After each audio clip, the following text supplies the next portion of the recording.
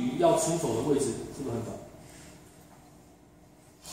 从这里到这里就可以出手，所以他手套摆位置如果是在上面的话，表示他填色是比较快。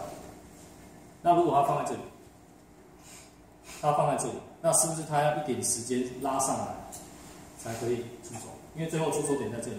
如果上边投手的话，最后出手点在这里。他如果 set 是在这里，因为他没有办法这样出手，所以他一定得拉上来到这里，所以他需要这么长的时间。那如果他在上面的人，他只需要这样的时间。所以第一，我们看他手套的位置的时候，可以去判断他的填色的出手。就你手套来看的话，这里是快，这里是慢。这是第一个点，我们以手套来看。第二个点是我们以他的脚脚的部分去看。如果他要把身体的力量做一个转身的动作的话，他身体要一个回转的半径。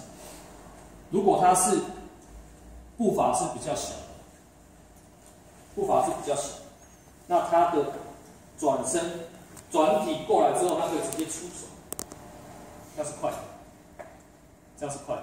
但是他如果步伐是大，那他没有办法这样丢，因为转不过去，所以他就有可能得要退脚，他才能丢。所以他得要退，因为这样转不过去嘛。所以他一定得退脚之后才可以转身，所以他得多一拍，他得多一拍，他没有办法像这样的就丢。所以如果你的胯部是大的，它需要时间是长，所以就是慢；那胯部是小，它需要时间是短，所以它是快。的所以从这两个点，你们可以自己去组合判断那一个选手。如果他是上面快。下面也快，那基本上这个投手的 K J 是属于比较快的，因为它打就会出去。那如果它是下面宽，下面宽是慢的，手套又在这里，那它要这样这样这样，它需要三拍，它才能出手。这里的一拍就出手。所以从这个判断里面，你可以告诉你的选手，如果是两个慢的合在一起，那你可以在你的安全距离。再多个半步，因为它比较慢，所以相同的 timing 的时候，你再多半步，它还是刹不住。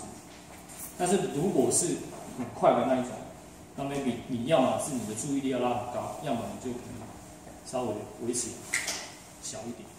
因为从这个点，在它还没出手之前，我们先判断它能够带给你多大的影响。啊，这个是可以给大家去参考的。那延迟到了。